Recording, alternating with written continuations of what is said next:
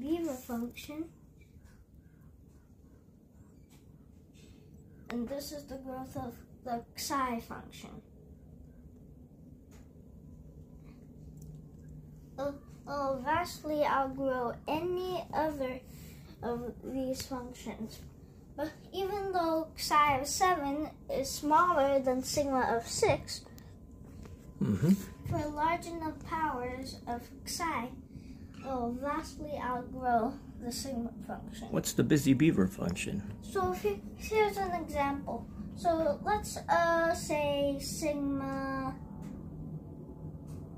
This is how you write sigma uh, of two.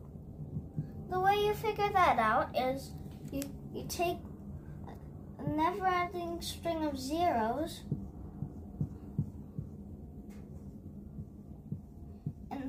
And you can and right now it since it's sigma of 2, it's at two it can only have two possible states, A and B.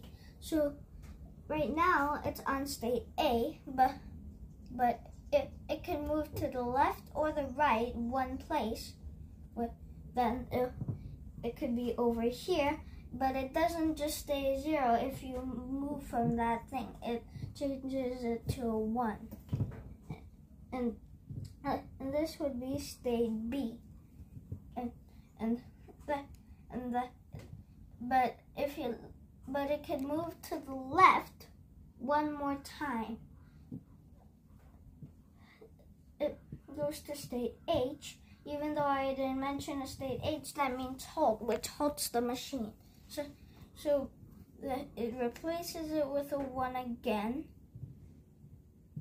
But there's many other rules to this. So, so, but the, but this doesn't mean sigma two equal equals two because because we're considering the maximum ama- amount of ones that could possibly possibly be on the ne- never-ending string of zeros. So, so basically, it, we're trying to find the max amount of of ones you can make. But there's many other rules.